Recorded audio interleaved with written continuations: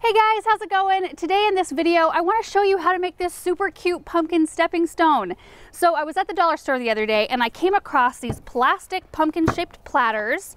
I honestly don't even know what you would use this for, but I thought, you know what, if I could figure out how to make it thicker somehow, I might be able to make a really cute stepping stone to put either in a vegetable garden area or wherever I'm putting my pumpkins next year, because this is something that you can hang on to from year to year use it. You could use it all year round in a vegetable, I think, kind of setting or like a kid's garden. But I did set up a fall photo booth area to take Benjamin's pictures this fall, and I thought that these would be so cute worked into that area. If you haven't seen that video, we will link it down below.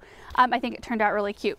So I did figure out how to make it thicker. I played around with it for a little while. I played around with the mix of concrete that I used. So I'm just gonna show you how I did it. So let me put this away and we'll get started. Okay, so the first step obviously is to make this thicker because a stepping stone this thin would not hold up very well. You want to shoot for something that's right around at least two inches and that way you'll get a lot more time out of it without it starting to crumble. So I needed to build up the sides of my form. So what I usually do is I usually use some type of photo paper because, and I've already cut this into pieces, these come in just eight and a half by 11 sheets. They're glossy on one side, so it's kind of like a non-stick surface. It's not porous, so the concrete won't stick to it. So basically what I did was I took some duct tape and little pieces of photo paper and just kind of bent them to the sides and taped them on. So I'll do a couple of them to show you, but I do have a form already made down here next to me. I just used little pieces because it was easier to kind of form around the sides here. So just kind of like that and then taped it on. I'll do another one. And it doesn't look very pretty for a little while, but it's really, it worked out well in the end. So there's two right there. And then you wanna make sure that you've got them like really secure to each other so that the concrete, once it gets in there, it doesn't like push it all out.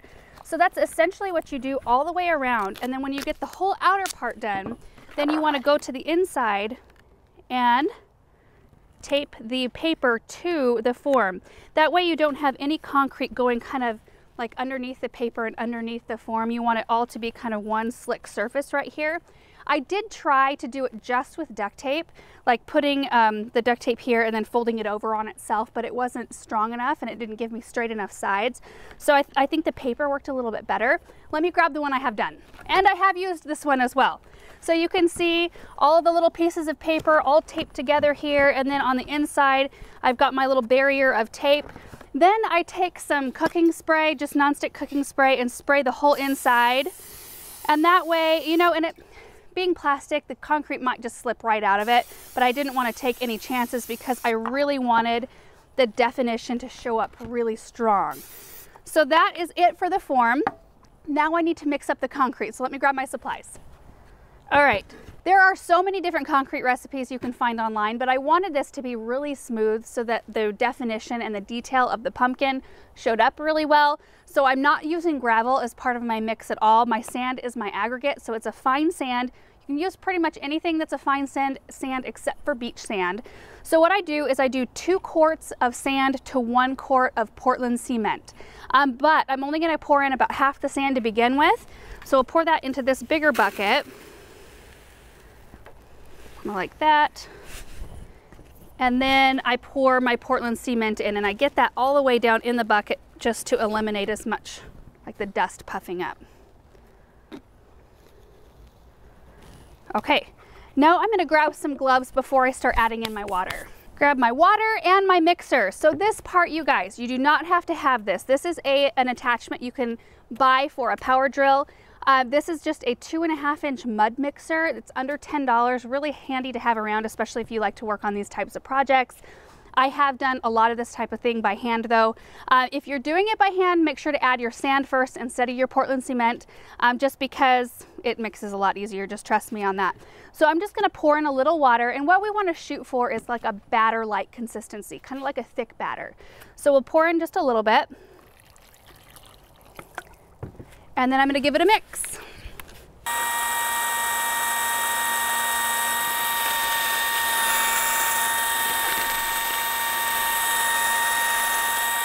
A little bit more water.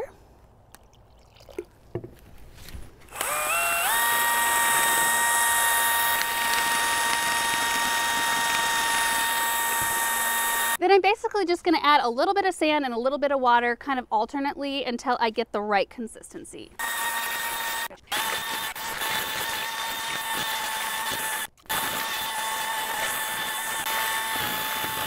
Ah, so this is just about perfect. You can see that it's still pretty wet. Like when I pull this out, it comes off easily, um, but it's like a thick batter. So this is a really good time to add any cement coloring in if you're wanting to color it up a little bit, which I've got this right here. So this is just a red cement color.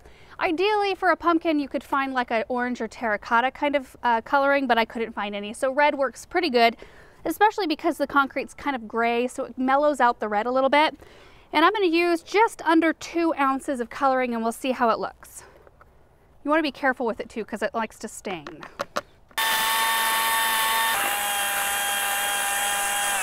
So we're just gonna pour it in, really easy.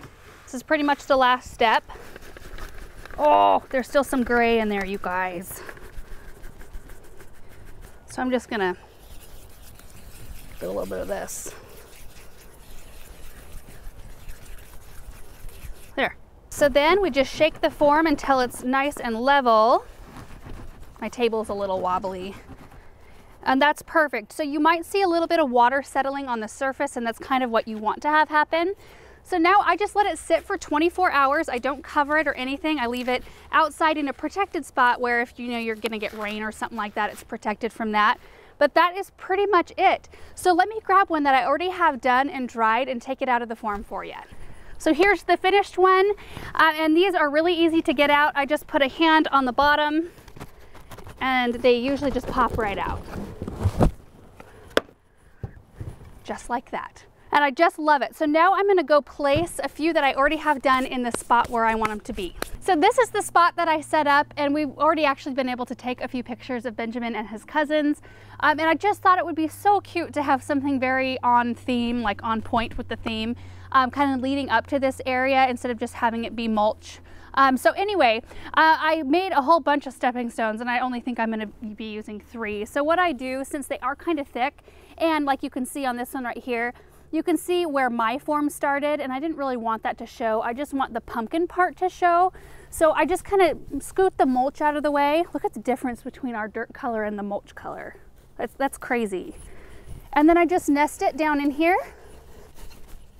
to where it feels nice and secure.